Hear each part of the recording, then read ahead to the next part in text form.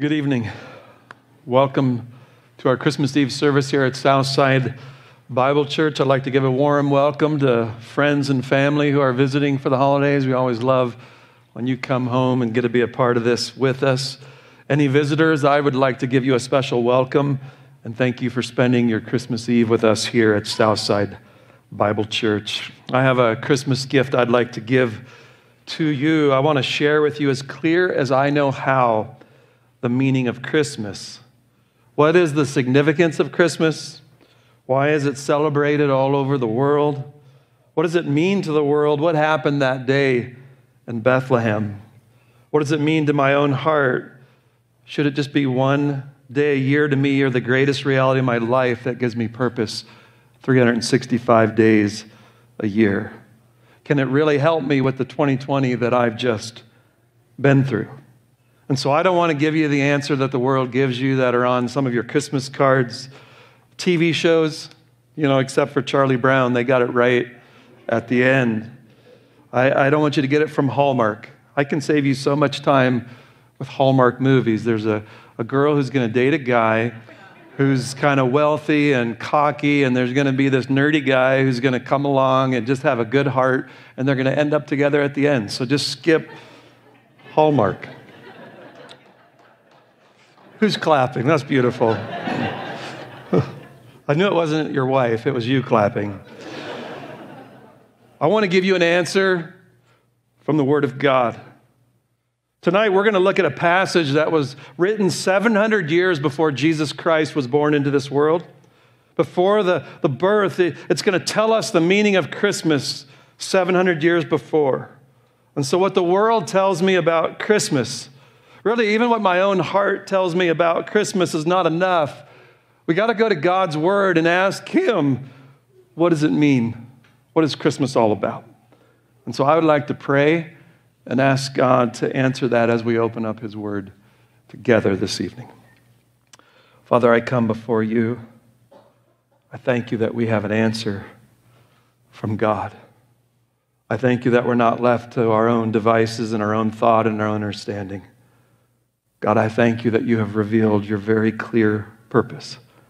And I pray this morning now, this morning, this evening, God, that you would meet us. You would reveal and, and give us this answer, and that every heart in this room would prepare him room.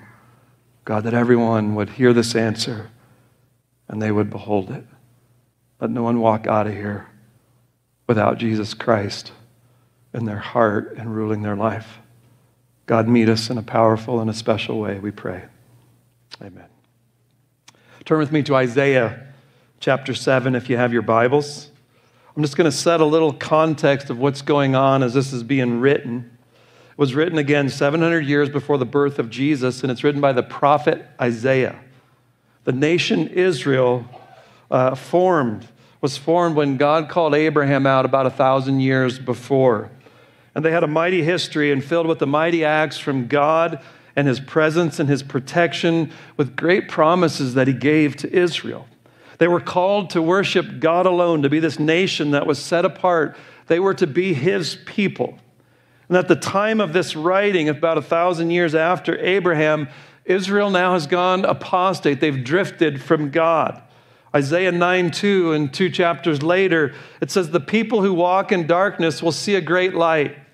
And those who live in a dark land, the light will shine on them. So Israel then has kind of a form of religion. Their heart was very far from God. They did all the external things that, they, that you were called to do, but, but they had no heart. And it's very similar to our day and age that's filling our own land. They did their religious rituals, but their lives didn't want God to dwell in them.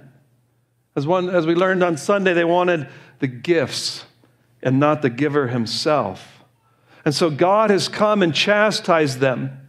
He has, he has sought to, to turn their hearts back to Him, and they just won't turn. Prophet after prophet, chastisement, and they won't turn back to God. They're happy with their religion. After all, a, a little religion never hurt no one, and I'll show you tonight it's killed many. So God calls Isaiah to go to this nation and proclaim judgment upon the house of Israel. We looked at it a few about a month ago in Isaiah chapter 5, and, and all the things that Israel were doing is what America is doing today. Then we move to chapter 7 through 8, and it gets historical. And here's our history God has brought the house of Israel together in David. David sins. It's now a divided house. Israel, now we have Israel and Judah, the northern and the southern kingdom, and there's great enmity between these two nations. And so Israel forms an alliance with a, a power called Syria, and they're going to come and they're going to lay Judah waste. And so King Ahaz, who was king over Judah, the southern kingdom, out, out of fear and worried about this, he makes an alliance with the greatest world power of the day, Assyria. And yet God has promised to Judah that he would protect them. I'll be your protector. And so Isaiah comes to Ahaz the king and he says, Don't do this. God will protect you, God will establish your house. Ask God for a sign of his commitment to bless you. And I want you to read Isaiah 7 10. then the Lord spoke again to Ahaz, saying, Ask a sign for yourself from the Lord your God.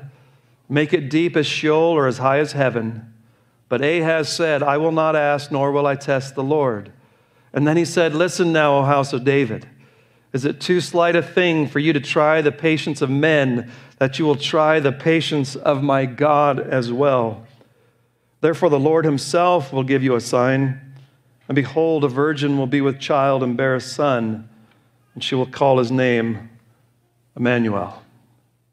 But Ahaz goes through with his plan. And he is told Assyria is going to come and wipe out Israel and the Syrians. and then he's going to come, though he's going to turn, he's going to wipe you out. Yet God is the faithful one. And he says, I will still bring about a restoration, a full restoration that's going to go to the nations and to the end of the earth. God's p- commitment to put David on the throne, and in him Israel will be restored as well as the nations. So bring yourself into the context then of these people. Israel is famished, they're under great suffering. They curse their king and they curse their God. And they look to the earth for help. And they see only distress and gloom as they look out. They're crushed under a great famine. And all the psychological and physical stress that goes with such a difficult time. And for some of you, you don't have to work very hard to get into this context. This has been 2020. And so they're looking for help everywhere. And the more they look to earth to help them, they just see darkness. It's a bleak picture. They can't find hope in the midst of all this. And it's truly the picture of the land right before the Lord is born in Bethlehem. Israel was lost and apostate. They had corrupted leaders with a corrupted religion. They were a nation lost and confused, and they dwelt in great darkness. But in the midst of that, this promise that we're going to look at tonight is dropped in.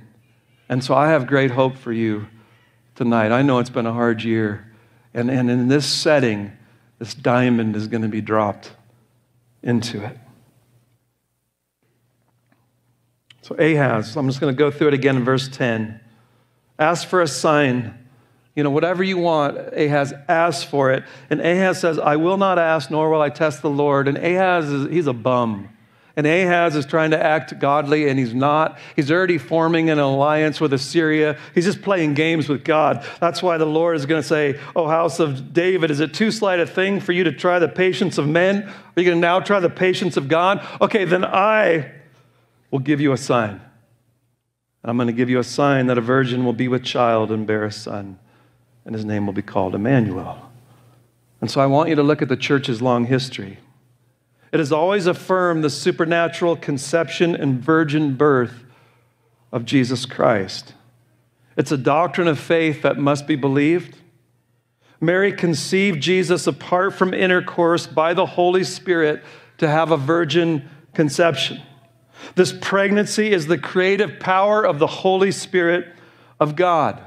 And we have the Apostles' Creed, repeated every week, that he was conceived by the Holy Spirit, born of the Virgin Mary. So, right out of the gate, we have to do more than just um, affirm the humanity of Jesus. The incarnation is God Himself becoming man. It's the, the infinite one becoming a baby. The second person of the Trinity lying in flesh in a manger. The virgin birth is the vehicle that the incarnation of God then will take place. It's how God will come into this world.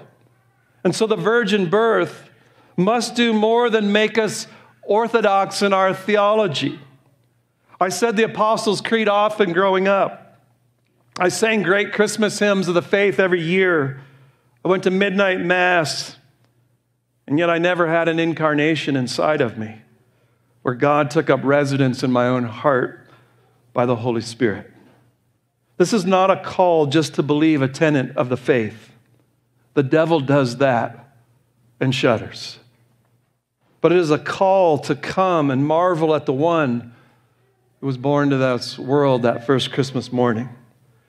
And as the hymn says, Oh, come, let us adore him. Christ the Lord. Come and behold him. That is what must be done in the quietness of your heart for this incarnation to ever do you any good. And so tonight, we're going to consider three things about the virgin birth. We're going to look at the biblical teaching of the virgin birth. We're going to look at what is the purpose of the virgin birth. And then I want to close out with how should we respond to the virgin birth. So first, the biblical teaching on the incarnation of Jesus Christ. This is going to get a little technical, but it needs to if I'm going to rest my eternal soul on this truth. I need bedrock. Christianity is a thinking person's religion. Today, we're told to turn your brain off and just feel with blind faith, but I want you to hear this. It's just the opposite. God made us with mind, affection, and will, and to think about truth and to, to believe it and to entrust based on solid bedrock truth. So there's a real important word in our text tonight. And it's no surprise that it's been under scrutiny for hundreds of years and even thousands. In 1998, a Bible translation translated this verse, virgin, a virgin will conceive, to a young woman will bear a child. What, what's the big deal about that? That happens in Southside every week. a young woman's going to bear a child. Oh, that's great. They changed the translation from a virgin to, in 1947, to a young maiden in one translation. The New English Version, version says it's a young woman. Why the change in translations? And I want you just to wrestle with me for just a couple minutes. I know this can be boring for some of you, but it's actually stimulating to me. So I want you to examine the Hebrew word here in our text. It's Alma. And this word can mean a, a young woman of marriageable age. It can mean virgin as well, which is what it meant in that day. This is our, our word. It, it, could, it could carry the idea of virginity, and all of the Old Testament uses is actually translated it virginity. But there's another word in the Hebrew that strictly means virgin. It's betula. And if Isaiah meant virgin, why didn't he just say betula instead of alma? That's the argument. And it's a fair question, and I want you to listen to the history of this word, though. I'd spent a long time on this. If you were Betula uh, until you got engaged, and once you got engaged, then you were called Alma. And so Mary was already betrothed to Joseph and not married yet. And so she was no longer a Betula, but an Alma, which carried the idea of a virgin as well. And so, one other evidence as well, at the time of 200 BC, there were 70 Jewish scholars who gathered together to translate the Hebrew Old Testament into the Greek, which was the, the language of the day. And when these scholars came to Isaiah 7:14, they chose the Greek word parthenos, which means one thing only in the Greek and, and one thing only, virgin. There are three other Greek words for maiden and they took it and said, This is virgin. And so the prophecy before us tonight was the sign that God would give that he would bring a future restoration and a fulfillment of his promise of salvation, that there would be a virgin and she would bear a son. And there would be nothing miraculous if just a young lady bore a son. My, my mom did it seven times and Laura did it three times. It's not a big deal unless you're the, the one doing it. but I want you to hear something more powerful 700 years after this was written. And we have all the documents that prove when they were written, no doubt. I want you to listen to Matthew 1. Now, the birth of Jesus Christ was as follows.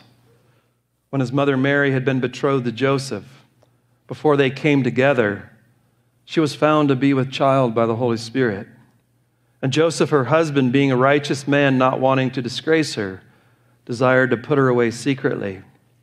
But when he had considered this, behold, an angel of the Lord appeared to him in a dream, saying, Joseph, son of David, do not be afraid to take Mary as your wife, for that which has been conceived in her is of the Holy Spirit. And she will bear a son, and you will call his name Jesus, which means Savior, for it is he who will save his people from their sins. And now all this took place that what was spoken by the Lord through the prophet might be fulfilled, saying, Behold, the virgin shall be with child, and shall bear a son, and they shall call his name Emmanuel, which is a direct quote from Isaiah 7:14, which means God is with us.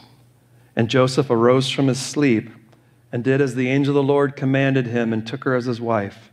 And he kept her a virgin until she gave birth to a son, and they called his name Jesus. There's one other thing I want to read to you tonight in Luke chapter 1. In the sixth month, the angel Gabriel was sent by God to a city in Galilee called Nazareth, to a virgin engaged to a man whose name was Joseph, of the descendants of David. And the virgin's name was Mary. And coming in, he said to her, Hail, favored one, the Lord is with you. But she was greatly troubled at this statement and kept pondering what kind of salutation this might be. And the angel said to her, Do not be afraid, Mary for you have found favor with God.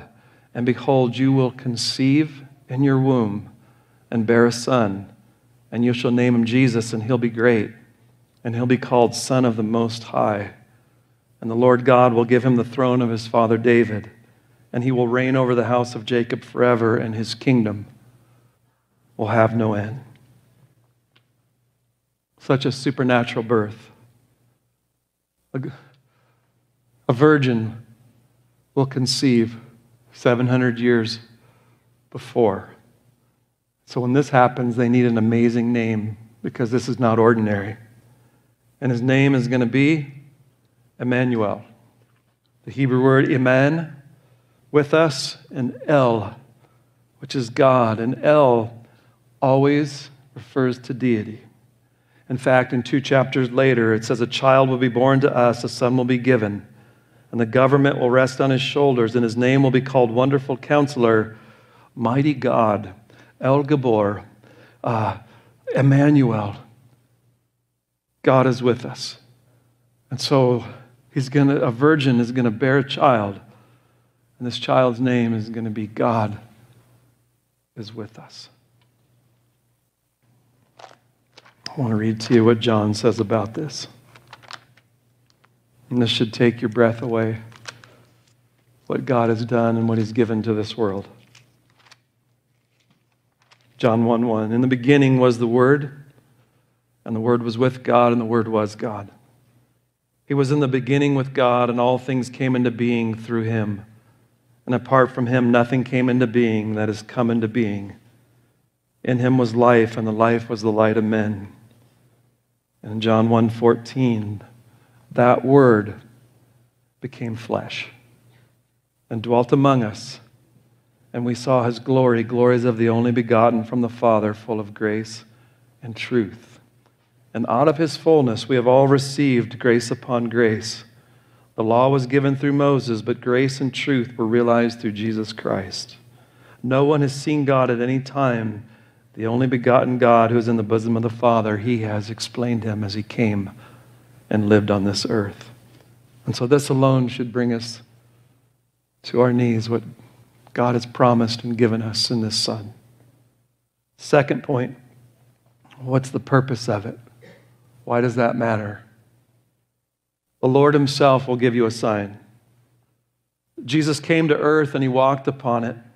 And he did signs and miracles all of his days. The Gospels are filled with them. John said if we recorded them all, the world couldn't contain all the books. But Jesus himself was an incarnated sign. And, and a sign of what? Well, a sign that God so loved the world that he gave his only begotten Son, that whoever believes in him should not perish, but have eternal life.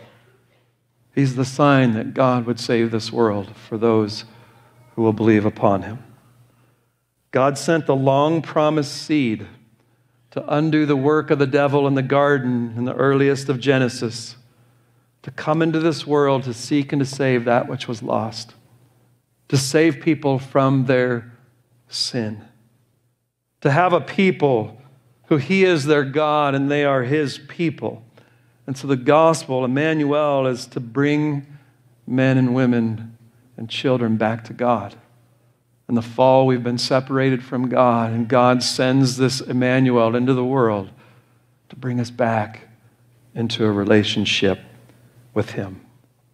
He is the divine sign, He's the revelation of God. Simeon later would hold that baby and he'd say, Let thy bondservant depart in peace, for my eyes have seen thy soterion, which means God's saving instrument of how he would bring the world back to him. So, this is, my friends, why Jesus is not just an option among many gods and many possibilities. This is God's sign, this is God's gift. He's not an option. It's not, I like Mohammed, I like Buddha, I like Joseph Smith, I like Oprah. This is God's sign. No one has ever entered the world like this. And no one has ever exited it by dying on a cross and being buried and being raised on the third day, now seated at the right hand of God. The virgin birth was an absolute necessity. And so I'm going to share with you the whole Bible in two minutes. And, and we've been going through Romans 5 as a church if you're visiting tonight. And in Romans 5, there's a typology, which is a picture and he showed us the first Adam came into this world and he represented all of mankind. And he's put in a garden and he chooses to defy God and he sins. And it says that he took all of humanity with him. And now all of us are born into this world separated from God with the guilt of Adam and a bad heart that loves itself instead of God. And so it has brought corruption into everyone and it has spread to all men, all of mankind. And he said, but, but now there's this other type, a second Adam who came into the world, Jesus Christ.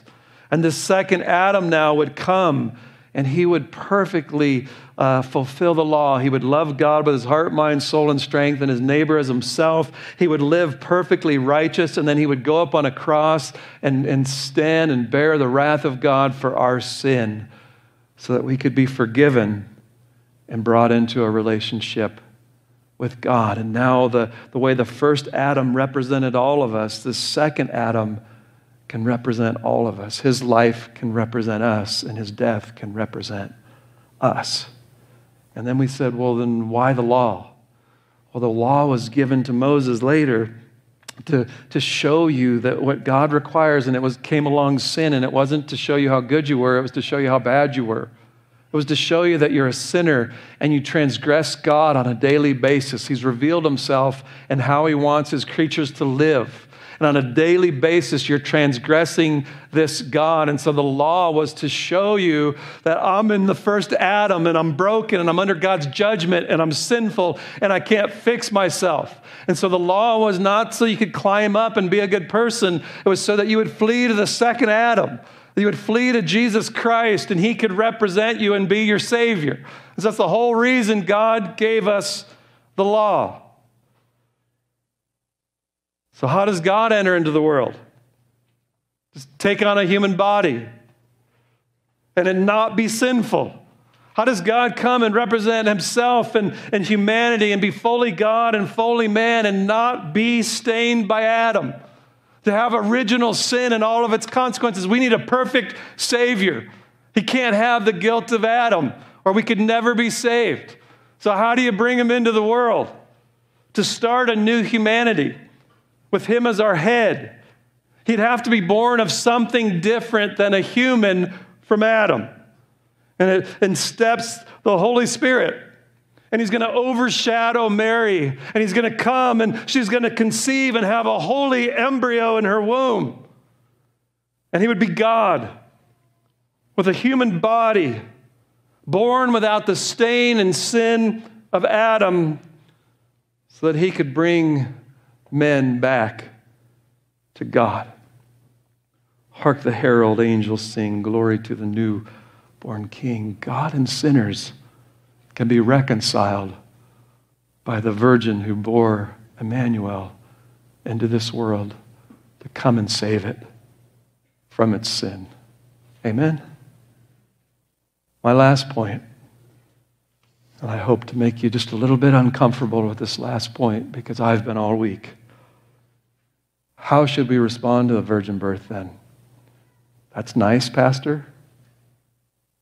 Number one, we need to defend it. The once delivered truth of God. We stand on this and we hold it. Second, we need to believe it. And third, faith is entrusting your soul to it. And so many miss the kingdom of heaven by 18 inches. They, they nod to this, but it doesn't get into their heart. And some of you know this, and you've recited the creed since you were born. But you need to be the same as those who were around the birth of Christ. And around them were angels singing glory to God in the highest. Shepherds.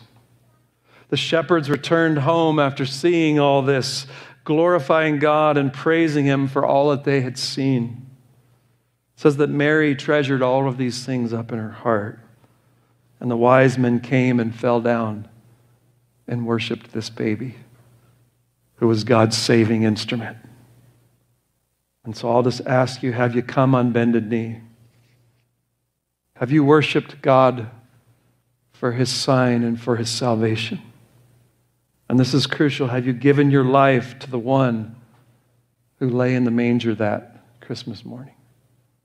It's not enough to just know it and say, I believe it. Have you given your life to this one who came to seek and to save that which was lost? He's going to go up on a cross and he's going to bear the wrath of God for our sin, and he's going to die on that cross. And he would be buried, and on the third day, he was raised to bring about salvation. And now he's able to save to the uttermost all who will draw near to God through Jesus Christ. And so I offer to you this night, 700 years beforehand, Isaiah prophesied that a virgin would bear a child and that child's name would be Emmanuel, that God is with us. And 700 years later, he came into this world born of the Holy Spirit, not of Adam. And he came to save sinners from their sin. And so I pray, don't die just nodding to these truths. Have you surrendered your life to this Christ? Have you bowed your knee and do you worship this Christ. Some of you have grown up in this church, and this is a dead, cold thing to you. And I'm asking you tonight, I'm praying that this would be the night of your salvation, that you would finally surrender to such a glorious gospel. And so, Merry Christmas, saints of God. May you be filled with joy and peace and believing this glorious, great gospel. Let me pray. Father, I thank you. I thank you that you sent your Son into this world. I thank you, you made it so clear that we would have to know it was God. And I thank you that you've revealed it and you've given us this word. And Lord, I pray for every soul in here. Don't let them go celebrate Christmas and just be celebrating their judgment that you sent your Son into the world and they treated it as if it was just an ordinary thing. They never saw the glory and the beauty and surrendered and believed and treasured and loved this baby, this Christ who would go up on a cross for their sins. God, don't let them die in external religion like they were doing in the day of Isaiah. Please, God. They need Christ.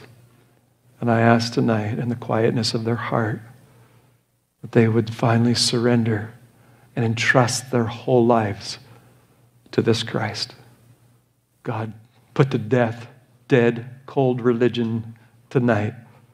Anyone looking into this manger and looking to where he would end up, it, it makes you alive. It makes you alive to God. Give life to every heart here tonight. I pray in the name of Jesus Christ.